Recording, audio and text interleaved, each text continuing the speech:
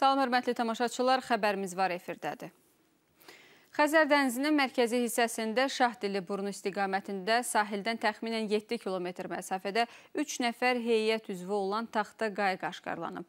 Köməksiz vəziyyətdə qalmış heyət xilas edilib, onların Bakı şəhər sakinləri Elnur Zeynalov, Rəşid Məhərrəmov və Rüfət Fətullayev olmalara müəyyənləşdirilib.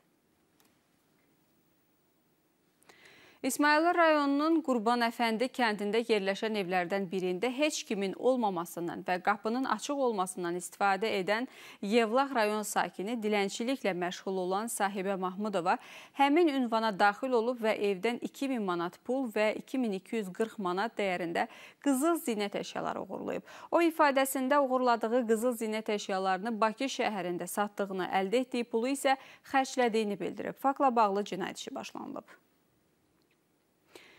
Daha bir oğurluq hadisəsi isə Binəqədi rayonunda qeydə alınıb. Təmir işləri gedən 22 evdən oğurluq edən Natiq Süleymanovun evlərdən məişət əşyaları, elektrik naqilləri, kombi aparatları, təmir tikinti alətləri uğurladığı məlum olub. Qeyd edək ki, Natiq Süleymanov gündüzlər Binəqədi rayonu ərazisində gəzərək hansı mənzildə təmir işlərinin getdiyini müəyyənləşdirəndən sonra gecə saatlarında həmin evlərdən oğurluqlar edilmiş. O tutularaq istintaqa təqdim edilib, faktla bağlı araşdırılır araşdırma aparılır.